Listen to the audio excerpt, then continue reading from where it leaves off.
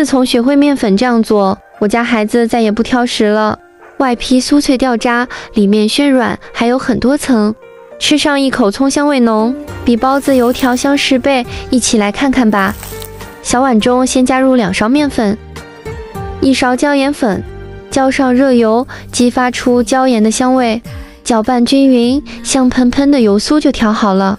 碗中先准备四百克面粉，加入三克白糖，三克耐高糖酵母粉，先混合搅搅匀。用两百三十毫升温水和面，注意水温不要超过三十五度。加入白糖可以让烧饼上色更漂亮。等到盆中没有干面粉，我们下手把它揉一揉，揉成这种光滑偏软的面团就可以。不用醒面，直接移到案板上，先搓成条状，用掌心按扁，表面撒点干面粉，用擀面杖轻轻的擀几下，擀成这种长方形的面片，例入调好的椒盐油酥。借助一个刮板均匀的抹开，撒上一把小葱花，增加葱香味。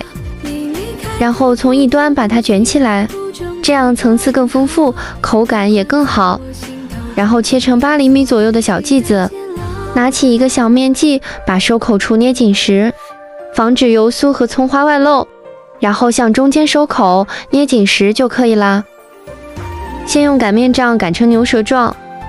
表面刷上少许清水，撒点白芝麻，轻轻擀几下，这样芝麻就不会脱落了，口感吃起来也会非常的美味。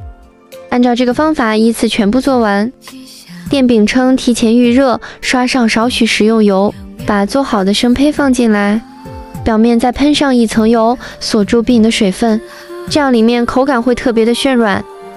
盖上盖子，中火先烙两分钟。时间到了，打开锅盖，哇，好香啊！表面已经鼓起来了，用铲子给每一个小饼都翻一下面，然后选择酥脆功能，再烙六十秒左右，这样表面会特别的酥脆。再翻一下面，把饼的两面都烙至金黄酥脆，美味的椒盐烧饼就做好了。出锅，按照这个方法依次把剩下的饼烙完。大家看看这个颜色漂亮吗？绝对比你买的烧饼还要香，这会已经满屋飘香了。这样好吃的椒盐烧饼，大家想吃吗？保证你吃一次就想念三天。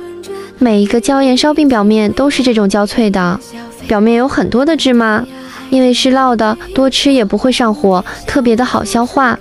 用手轻轻一捏就掉渣，里面每一层都有葱花和椒盐，吃上一口就让你回味无穷。因为是发面的，里面是特别暄软的，老人和小孩都非常的爱吃，没有放什么添加剂，全家人都放心吃。喜欢的你就收藏起来试试吧，大家可以分享给更多有需要的朋友们。感谢你的观看。